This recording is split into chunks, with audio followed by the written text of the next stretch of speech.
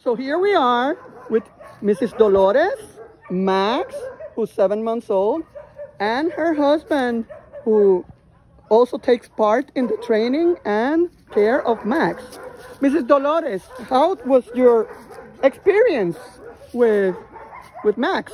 We are shepherd lovers and we have had several and Max is one of the smartest, uh, learns quickly, uh, full of energy, but he's a super, super great dog.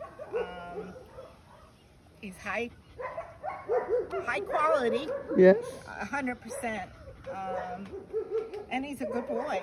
I mean, we're So happy. you're happy of having purchased from Southernwind then? Oh my gosh, yes.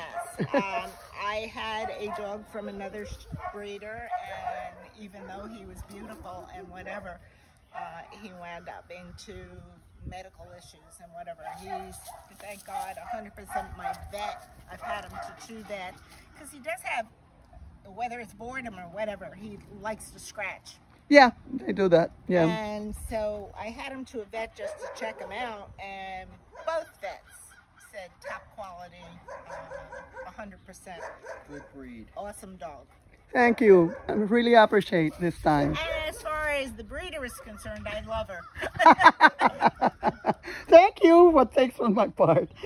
Okay. Enjoy your afternoon. Thank you. Thank you for being here. You're welcome. Thank you. Bye. Right? You want to go for a ride? Oh my God. You want to go for a ride? Yeah? You want to go ride? He loves the back seat. So you understand, Max? Yes. Yes, you That's understand said. He's English. Very, very understanding. Oh my God. Yes.